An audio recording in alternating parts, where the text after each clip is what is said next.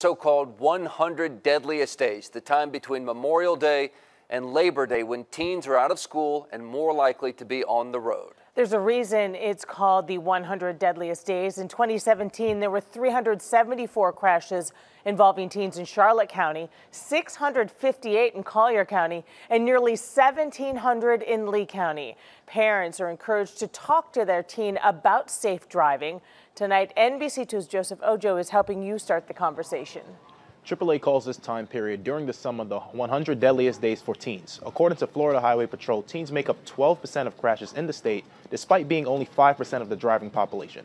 More teens on the road means more opportunities for disaster from drinking a cup of coffee to making a cell phone call. As school lets out for summer, the 100 deadliest days for teenagers are upon us. As a parent, I want to make sure that they uh, abide by the rules uh, they're safe and courteous to other drivers. AAA deems now into Labor Day a bad time for teens to be on the road. In 2018, on average, 10 teens died a day in crashes from Memorial Day to Labor Day. You need to be, have your wits about you. Things can happen very, very quickly. Let's break down the stats from Florida Highway Patrol. In 2017, FHP reported that Lee County had the most teen driver crashes in Southwest Florida, followed by Collier and Charlotte County and in total 21 teens from all three counties died. Then as soon as you pass your test, people tend to forget that uh, and they pick up bad habits. Bad habits include texting and driving, driving under the influence of drugs and alcohol, and much more. Now AAA and FHP wants parents to do their parts. Eliminate distractions inside your car.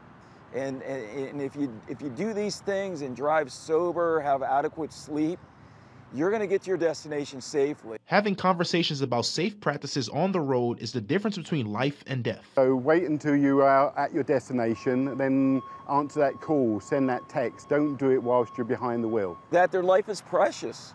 And the unfortunate reality of traffic crashes is it can change your life in a second. Joseph Ojo, NBC2. Riverdale high school teenagers were involved in a crash this week. 18-year-old driver Christopher Torres is accused of careless driving for passing a tractor trailer. The front bumper hit the axle of the trailer, causing the car to roll. Palm Beach Boulevard and Alva was shut down in both directions. Our communities typically see a spike in crime when kids are out of school. So we asked the Lee County Sheriff's Office for some advice to help you keep your kids out of trouble. They recommend asking questions about what your kids are up to, not giving them too much freedom, and don't be gullible. Follow up with them throughout the day.